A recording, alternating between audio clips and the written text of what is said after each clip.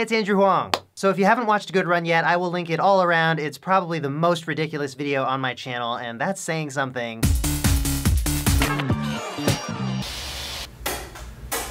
I wanted to highlight a bunch of the crazy things we had to do to pull this video off because the whole thing rests in a ton of creative shooting followed by many months of VFX work by my brother-in-law Phil. So I'm traveling with him and my wife in Australia. This is 2014, three years ago. And one night we started throwing around these really funny video ideas. What if something started as a really cheesy romantic pop video and unexpectedly turned into an alien invasion movie? What if the aliens were sock puppets? What if I had a Minecraft unicorn friend and cat face laser hands? What if the final boss was a robot hamburger.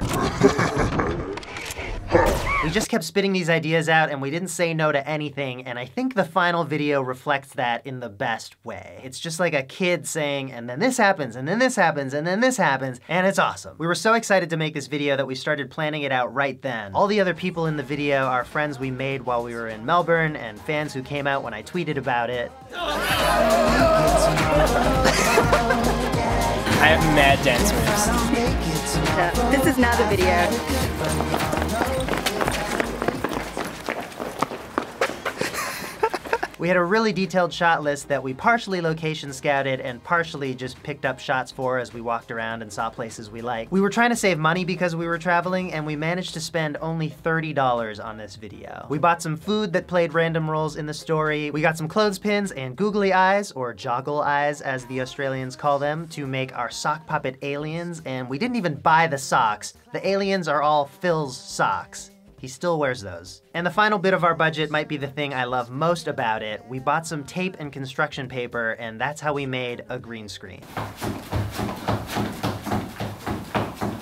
It was super janky. And in sharing this, I don't want to perpetuate the myth that you can just slap a green screen anywhere and then make anything you want. The reason this worked is because of Phil's brilliance. He paid a lot of attention to the light we had available, which was basically the sun and this little LED. We taped the construction paper inside the apartment we were renting, as well as outside in an alleyway depending on what scene we were shooting, and he had an incredibly difficult keying job ahead of him. This video is a testament to the power of green screen, yes, but even more so, a testament to Phil's ridiculous skill. And we know not all of it is perfect, but check out some of these before and afters. It's mind-blowing.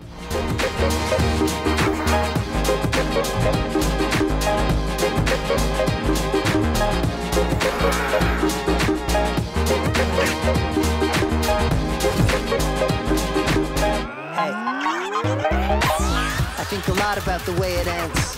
The kind of things no one ever wants me to say again. For the hamburger, we couldn't use a green screen because the lettuce is green and it would have keyed out. So we actually just used this blue sweater for some shots, and for others, we used a technique called photogrammetry, where you get a sort of 360 collection of pictures of an object to use to create a 3D model. The socks were super fun to puppet. It's kind of amazing how expressive you can be with them. It was also pretty hilarious doing the voices for them three years later.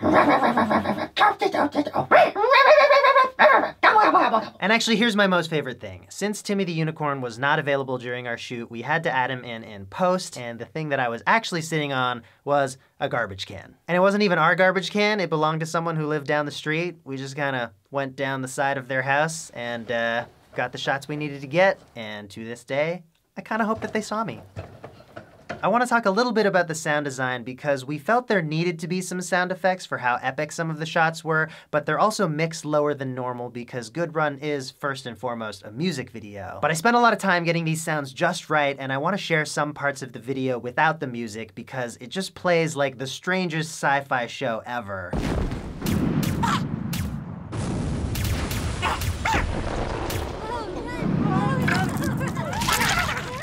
Also, we should check it out with some generic action movie music in the background.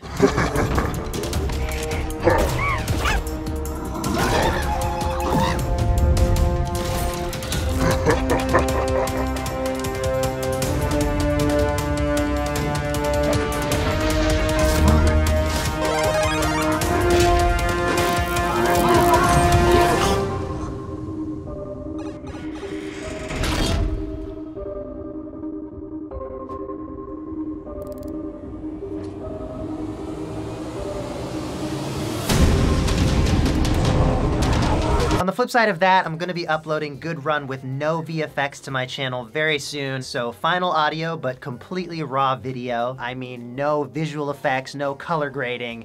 It's completely hilarious. Good Run is from my new album Stars, and you can get it on Spotify, iTunes, Bandcamp, Google Play, all the places. And to celebrate its release, we're also doing a super limited merch run up until November 20th. You can get a Stars phone case or poster. I'll link those down below. Thanks for watching. I will be back soon. Blah, blah, blah, dear, dear. Yeah, let's just use that. Outros. So pro. No one around but you. The ocean spray. Nostalgia ultra on my brain.